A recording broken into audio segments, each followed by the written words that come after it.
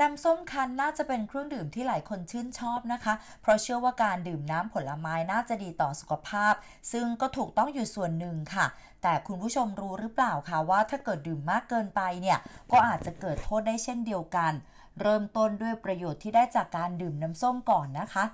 1. ดื่มแล้วช่วยเพิ่มความสดชื่นให้แก่ร่างกาย 2. เสริมสร้างกระดูกน้ำส้มนี่สามารถเสริมสร้างแคลเซียม และวิตามินดีให้แก่ร่างกายได้ด้วย นอกจากนี้คอลลาเจนในน้ำส้มยังไปช่วยซ่อมแซมส่วนที่สึกหรอของร่างกาย ให้ผิวมีความยืดหยุ่น ไม่แห้ง แตก นอกจากนี้ก็ยังสามารถบำรุงผิวพรรณต้านอนุมูลอิสระ เนื่องจากในน้ำส้มมีวิตามินซีสูงค่ะ ช่วยรักษาโรคหัวใจ เพราะมีผลการวิจัยพบว่าสารอาหารในน้ำส้ม จะช่วยลดคอเลสเตอรอลชนิดไม่ดี แล้วไปเพิ่มคอเลสเตอรอลส่วนดี ป้องกันหลอดเลือดหัวใจตีบได้ค่ะ รวมถึงช่วยป้องกันโรคมะเร็ง จากผลการวิจัยพบว่าเวลาเราคั้นน้ำส้ม เรามักจะผ่าส้มออกเป็น2ซีกนะคะ เพราะฉะนั้นพอเราคั้นน้ำออกมาเนี่ยน้ำก็จะมีรสชาติของเปลือกส้มติดมาด้วยรสชาติที่ได้จากเปลือกส้ม จะมีสารไลมอนอยด์ที่สามารถต้านมะเร็งในช่องปาก คอ ปอด กระเพาะอาหาร ลำไส้ ผิวหนัง ตับ และเต้านมเป็นต้นค่ะ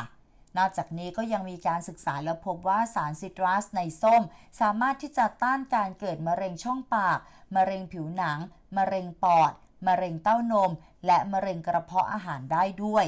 นอกจากนี้ก็ยังสามารถป้องกันโรคนิ่วจากผลงานวิจัยได้ศึกษาผลการดื่มน้ำส้มป้องกันการเกิดนิ่วในไต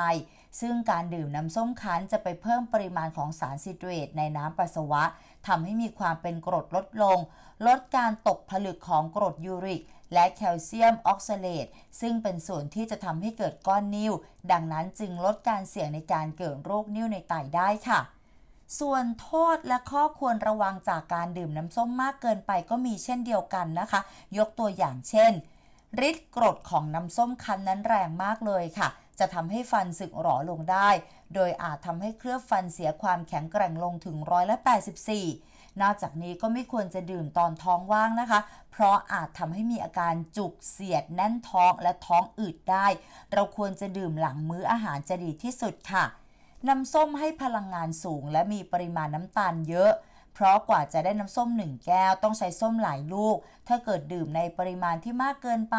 ก็อาจจะส่งผลทำให้เกิดโรคต่างๆ เช่น โรคอ้วน โรคเบาหวาน และอื่นๆ ตามมาได้ค่ะสำหรับผู้ที่เป็นโรคเบาหวาน หรือโรคไตก็ควรต้องระมัดระวังนะคะ เนื่องจากส้มมีน้ำตาลและโพแทสเซียมสูง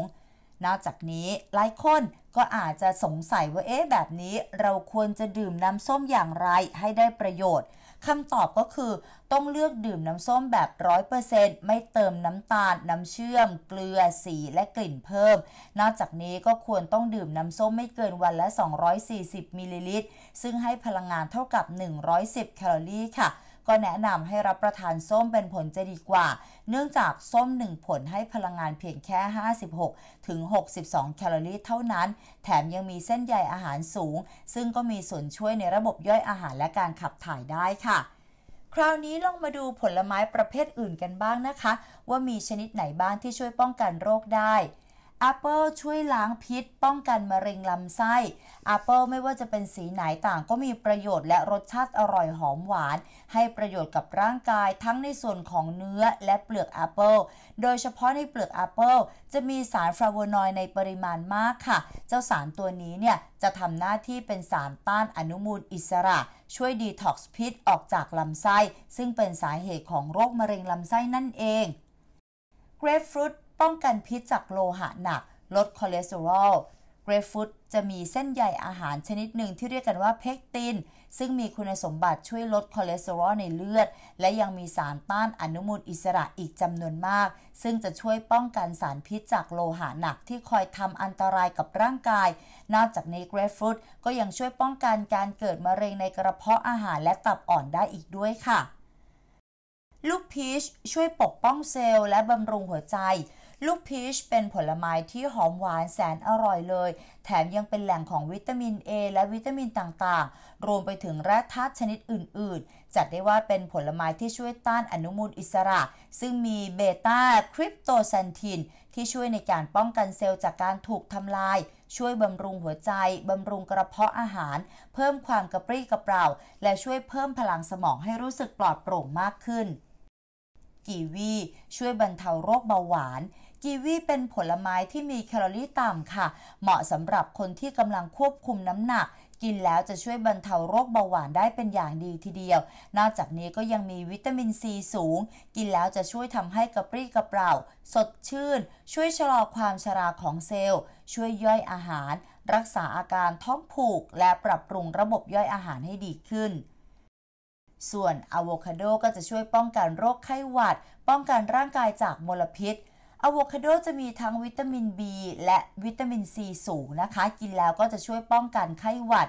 โรคลักกระปิดลักกระเปิด โรคเหน็บชา ปากนกกระจอก และยังมีวิตามิน E สูงด้วย ก็จัดได้ว่าเป็นผลไม้แห่งความงามค่ะ เพราะสามารถช่วยชะลอความแก่ของเซลล์บำรุงผิวพรรณปกป้องร่างกายจากมลภาวะ ลดบ่อเกิดของเซลล์มะเร็ง และโรคหัวใจได้ รายการคนหลังข่าวจบลงแล้วนะคะ อย่าลืมกดกระดิ่งเพื่อติดตามจะได้ไม่พลาดทุกข้อมูลข่าวสารที่น่าสนใจ นอกเหนือจากนี้เรายังมีอีกหลายแพลตฟอร์มช่องทางออนไลน์ให้คุณผู้ชมได้ติดตามค่ะ ไม่ว่าจะเป็น Facebook แอปพลิเคชัน TikTok Instagram และ Twitter เพียงแค่ค้นหาคำว่าคนหลังข่าวเท่านั้นคุณผู้ชมจะไม่พลาดทุกข้อมูลข่าวสารที่น่าสนใจและทันสมัยอย่างแน่นอน ขอบคุณสำหรับการติดตามรับชมรายการค่ะ